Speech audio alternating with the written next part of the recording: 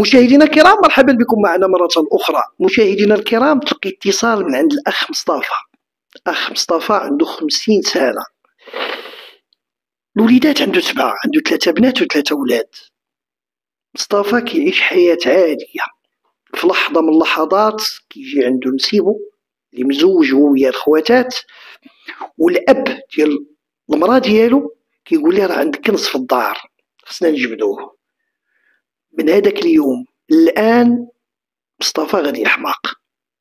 مشاهدينا الكرام قصة مصطفى غيرت الدنيا لما هو أسوأ تبعوا معايا. مصطفى عاود لي من الأول شكون هو مصطفى؟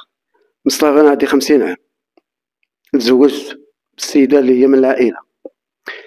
ولدت مع سبعة ديال الوليدات. واحد آه، مات والستة دابا راه كاينين. آه غادي مزيان كيما أيوا الناس عايش بخير وعلى خير خدام كندير والشراء واحد النهار اللي تقدم عندي نسيبي اللي بوات المرأة ونسيبي اللي واخد خط المرأة. وقالوا لي راه عندك كنز هنايا في الدار. قال لي بغينا نجبدوه. من تما هي الأمور عندي ما المرأة تبعت الطمع ومشات معاهم وجبدوا هاد الخزينة الكنز ولا ما جبدوش. وتكرفصت و... وشدتوا لي المحل ديالي وشدتوا لي الوليدات. وأنا كنعيش في لحظه مشرد وس- وسط الدوار ديالي. هذا الكنز كيفاش؟ عاود لي بالتدقيق كيفاش؟ هاد الكنز سيدي كنعرفو هو خالي اللي هو كان ديال جدي هاد الكنز. خزينة في الدار كان خازنها. جويجة وشي أمور ديال مجوهرات ذهب ولا شي حاجة. وهادشي أنت كنتي عارفو كنت عارفو عارفها كاع العائلة. هاد الخزينة كاينة. علاش ما قلبتيش عليها؟ ما كا ما دريتش فيها وما حرفتيش وما عرفتش هاد الشيء ما عرفتش ليه يعني دابا انت كتقول لي هذا الكنز كاين حيت حتى غا قالوا لك. أنا تانا قالوا لي. هذاك الشيء أنا سامعه من عند الأب ديالي لأنه هو الكنز ديال باه خازنه مباشرة وتلفوا عليه ولا تمنع.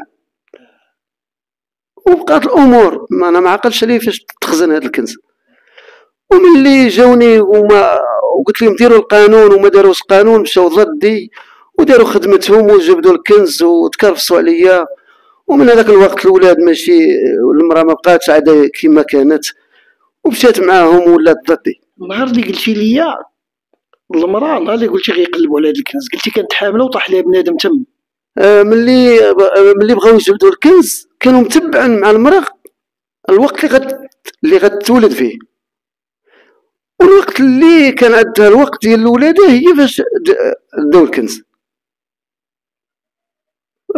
شنو السبب ديالهم هما اللي عارفين كيقولوا بأنه هذاك ال- أنت قلتي لي طاح ليها بنادم ذاك النهار. طاح لي بنادم هذاك النهار.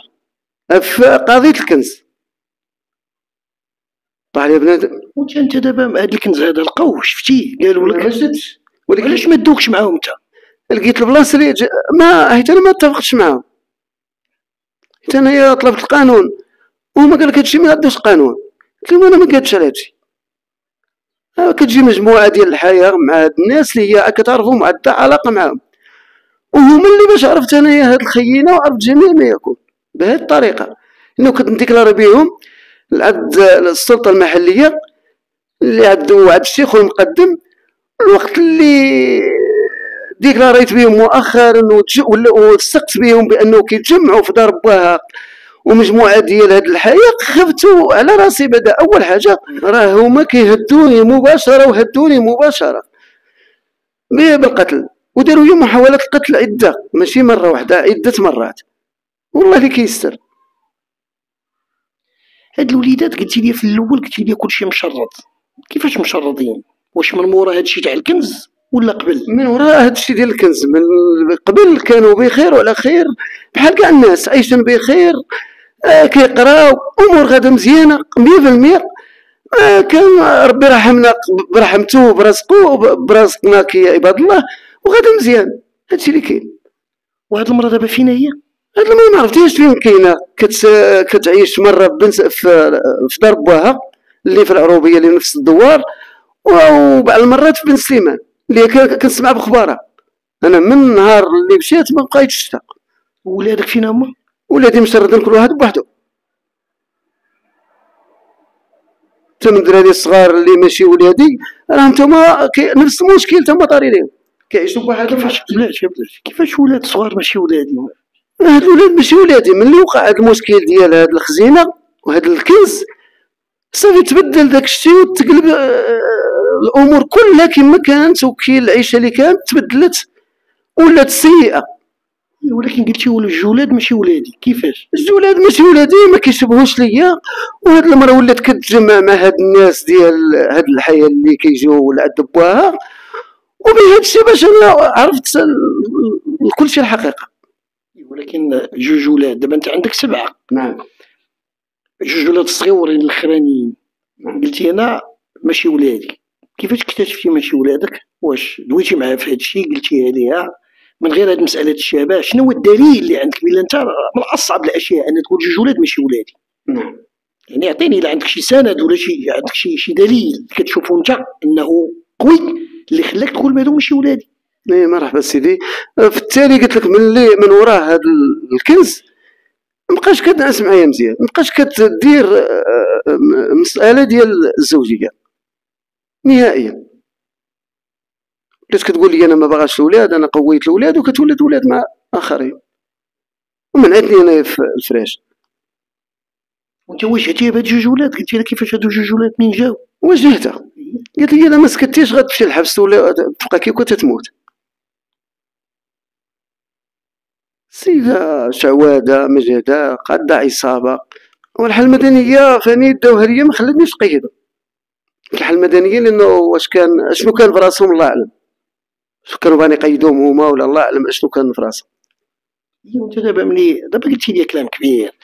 وانت ما درتيش القانون في هادشي. على جوج ولاد ولا طلب لاضيين ولا طلب اش درتي طلبت ومازال ما عطاونيش. مازال أنا كنتسناو هادشي اللي كاين. عييت يا مصطفى. عييت وتمحنت وتشردت وتكرفست الوليدات كيتكرفسوا قبالتي. وكيتصوتوا قبالتي وكيباتوا في الزنقة. قبالتي وما كانش هادشي ما كنتش حاسب بيه وما كانش باغي لوليداتي. كي كاع الناس كي كاع المغاربة لأنه أهم حاجة هي الولاد. هي الولاد هي اللي مشاو لك الولاد كلشي مشالك ما بقى حتى حاجة عندك والو. لينا الولاد هما كلشي. فريت أنا في ولادي. وتبعدت بزاف. وتكرفست وزاد الظلم عليا هذا بزاف هو عليا فاتني هذايا الظلم فاتني انايا وبالاخص ولادي ملي كنعيش أنا وكنشوف ولادي كيباتوا في الزنقه وكيشردوا. ودير له المدرسة جا قال لي عطيت لولدك خمسة دراهم شرا عرشه وكون كان عندي من زيدو نزيدو جيب ولادك عندك مصطفى؟ جيبهم عندك أنا تغلبت أنا تغلبت أنا كنتصوت في محالي عندي سورتي كاع عندي تصاور ديال الدم عندي كل شيء تصوت في محالي تصوت. أنا في حالة لا ارتلاع حالة لا ارتلاع ما تردوش كردو اللي نقول دابا هيك مشات في حالها هيك خوات لك الدار أنا باقي كنتصور شكون اللي كيجي يصوت؟ كيجي كاين اللي كيتخلص وكيجي يصوتني شكون؟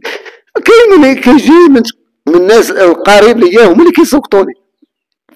كيتخلصوا بالفلوس وكيصوتوني. كيتخلصوا عليا بالفلوس وكيصوتوني هادي عصابه كدير هي كي بغات. أنا ماشي أنا اللي درت هاد الشيء. وعلاش ما مشيتش للمحكمه أنت؟ ما تكديتوش للطلاق. مشيت للمحكمة. ما باقي ما يسرش الله. أنا باقي كنتسناو. أنا داير شكايات أنا باقي كنتسناو الله سبحانه وشكاياتي يتنفذوا. أنا كنطالب. هذوك البنات اللي عندك عندك ثلاثة بنات بنات كبارات شوية مزوجين عندي درية مزوجه ما كتجيش عندك هي البنيه كنتجي وعمروها ما بقاش تجي كنتجي عندي ووليداتها كيجيو لعندي وما بقاوش يجيو لعندي. دابا في هاد العيد رجعوا عندهم هما هي وأنا ما جاوش عندي. دابا انت هنا بوحدك مصطفى. أنا بوحدي سيدي. أنا كنعيش بوحدي. نوض بوحدي نبرك بوحدي. أنا بكيت على الكلاح ونسكت. ما خلات لي لا لا خوت لا صحاب لا لا حتى واحد. ما خلاتو لي هاد السيدة. واحد المجموعة قتلوني هذا رجع الله. أنا ما نتصور هاد العصابة هادي عصابة ديال هاد السيدة عصابة وكذاب. تحرم ما حل الله وتحلل ما حرم الله هادشي اللي كاين من الآخر. ما هادشي أنا ما قديتش عليه ورجع الله. أنا كنطالب غير بالخبره ديال هادشي اللي كنقول أنا أنا ما كنطالب حتى بشي حاجة. أنا من حد هاد التجمع ديالها وغوت على التجمع ديالها. وشكيت بهاد التجمع ديالها؟ زادني أكثر. ملي كندير شكاية كنتصوت مطول ملي كندير شكاية كنتصوت مطول كيما كانت شكاية كيما كانت شكاية كنديرها كنتصوت كتر مطول ولاد ولاد الدراري كبار شوية بعقلهم ولا باقيين صغار؟ كاين اللي كبار كاين اللي صغار. اش كيقولوا الدراري الكبار؟ وهي كاين الدراري الكبار اللي تألم راه تألم. وراه متابع أمهم وصافي هذا اللي كاين. وكيقول لك آه، هاد الشيء ما بغيناش. ومشردة هما نفس المشكل هما منصوب عليهم معايا هاد الولاد رانا كنبغيهم وعزاز عليا. وما بغيتهمش يسمحوا فيا بغيتهم يشوفوني تنايا نحس براسي رانا عندي هادوك الوليدات بعدا كينايا كي الناس. أنا دابا مأدي ولات بحال العيد بحال الأيام عادية بحال كل شيء. وليداتي كانوا يجيو عندي لي خدام ولا اللي ما خدامش يجيو عندي وكنتجمعوا العائله كاملة. أنا وليت كنتجمع بوحدي. نهار العيد أنا بارك بوحدي. أنا طلع معيده ومجمع مع وليداتها وأنا كنعيش بوحدي في آخر عمري اللي أنا ولدت وقلت أنا غادي ندير وليدات ونتجمعوا ونكونوا عائلة كي أيها الناس. واللي قرا يقرا واللي يخدم يخدم واللي ما خدامش راحنا عايشين برزقنا باللي عطا الله. ولا يديروني بأنه رانا مسطي وأنا قدامك سي... سيدي محمد. إلا كنت مسطي رانا قدامك. اذا كنت بعقلي رانا قدامك. أنا كنطالب غير بولادي اللي هما ولادي. وكنطالب بهاد الناس يكون بحث معاهم ويكون تحقيق معاهم في هذا الشيء اللي كنقول انايا. اللي تكرفصوا عليا وتكرفصوا على الوليدات أكثر مني أنايا. وأنا كنعيش مشرد دابا ومنعوني حتى من ولادي في هذا الكلام اللي كيقولوا عليا. وأنا كنقول لوليداتي جيو عندي مرحبا بكم. وأنا بواكم وما تشردونيش كي هاد الناس اللي اللي شردوني أنا تصوت أكثر من جهدي من طرف هاد الناس وبكيت أكثر من جهدي من طرف هاد الناس. أنت كدوي على المرأة؟ وباها ونسيبك اللي واخدين الخواتات وقلتي شي الحياة صحابك يجيو معاه ياك؟ نعم. هادو اللي كيتجمعوا لك. هادو هما اللي اللي يتجمعوا هادو هما اللي داروا لي هاد الشيء هما اللي تجبد هذا الكنز. وأنا في هذا المحل وفي هذه التمارة. وتملات ومشات السيدة مع الطمع معاهم.